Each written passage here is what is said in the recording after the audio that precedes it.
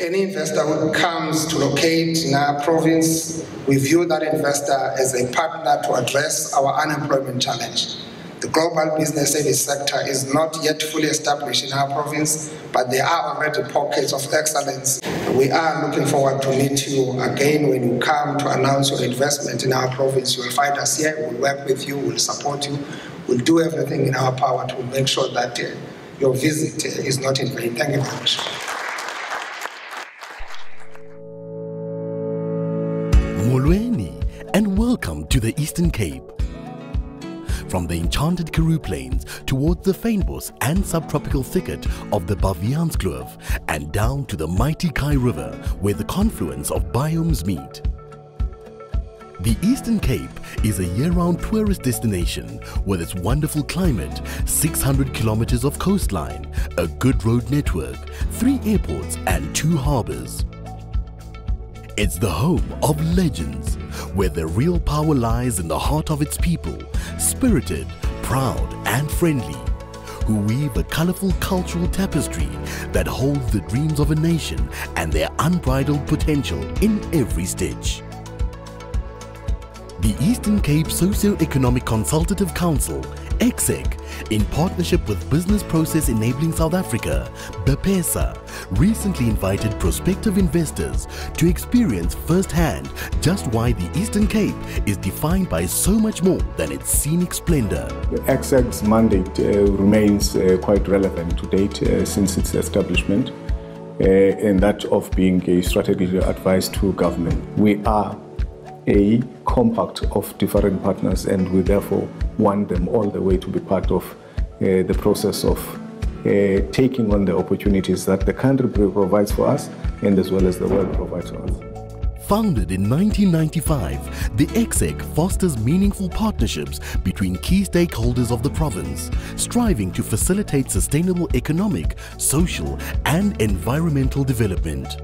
The purpose of this uh, roadshow is really to showcase value proposition for the Eastern Cape to potential investors, what we've got to give to them in terms of their investment. So we thought instead of talking about it, let's show it. And we give thanks to BPESA because this is really a collaborative effort, you know, demonstrating that the social compacts do work. You know, when we, when we come together as partners, we, we can do so much more. For this sector that has so much potential for jobs and for growing the economy. The Eastern Cape is a burgeoning hub for global business services with strong prospects in automotive, logistics, back office customer care and remote work facilitated by highly competitive, productive talent with a proven social and service-orientated skill set. Uniquely positioned, the bustling port cities of Gqeberha and East London house pockets of BPO excellence with CX expertise. Alarmingly, high levels of underdevelopment and poverty persist in this region. In particular, the youth are vulnerable, with unemployment reported to have reached beyond the 40% mark. Regional investment will certainly shift this paradigm and secure a critical reduction in the current unemployment rate.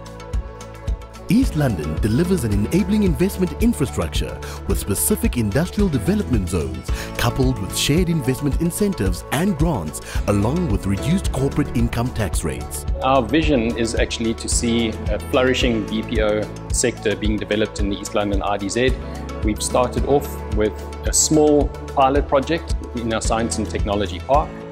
From here, we would like to take it to the next step, and that is actually been achieved through the formation of an 800-seater BPO park project. We are getting very good support from our city and um, the region of East London is very ambitious in achieving and realizing these goals because we do see it as a massive job creator for our region. ICT is ranked amongst the top five sectors in South Africa in respect of its contribution to gross domestic product in a bid to increase participation of young individuals while creating more opportunities in these sectors within the metro. The ELIDZ have implemented the development and operation of an innovative science and technology park from which it will launch its digital hub strategy.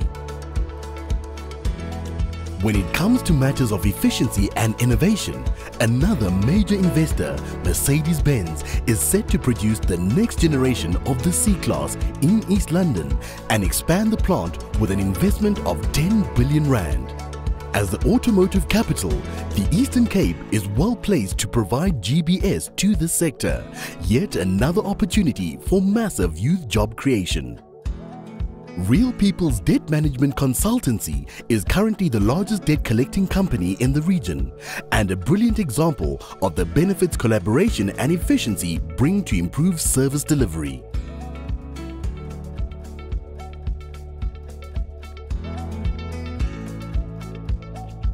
This roadshow happens at a very important time for the Metro when we are re-engineering our strategy in terms of economic development, uh, central to it being investment, attraction and facilitation into the city.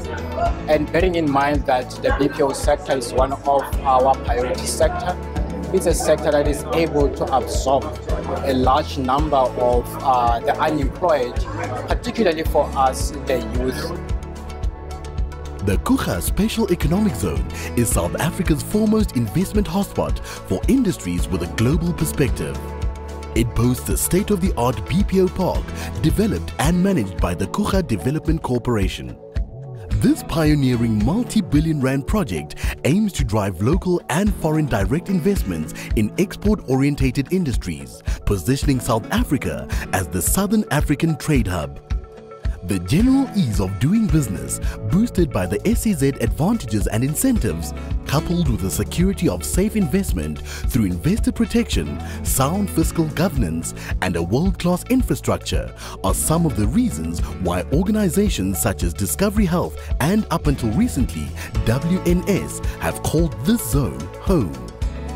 Dimension Data, the largest shared services operator, is also based in the metro with more than 400 seats committed to making a sustainable impact through various skills development programs.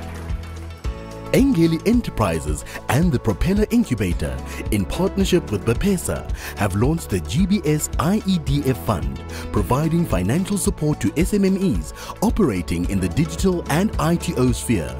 Another ideal opportunity for investment of enterprise development spend, creating market opportunities for SMMEs in this region. The value proposition is a very important piece of work uh, for us to be able to profile uh, the strengths that we have in the region. So our commitment into the sector is cemented by the fact that we are passionate about job creation and skills development. The issue of youth unemployment is a pressing issue for all of us as a country. So it's important that this sector provides that opportunity to absorb the youth that cannot be absorbed elsewhere.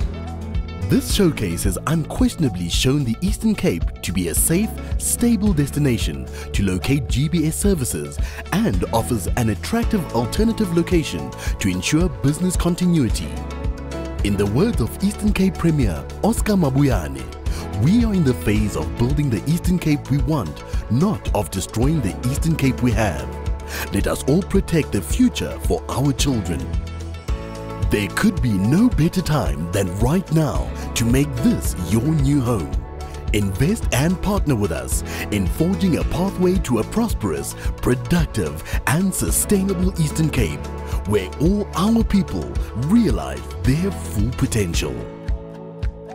The Eastern Cape is open for business.